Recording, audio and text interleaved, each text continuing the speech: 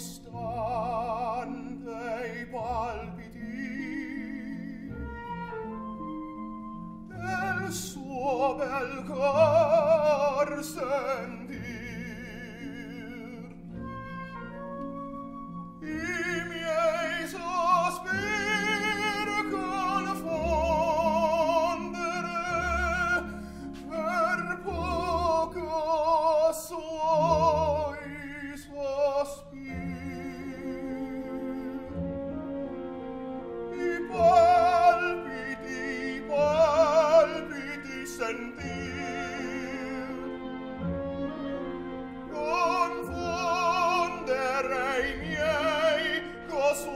spirito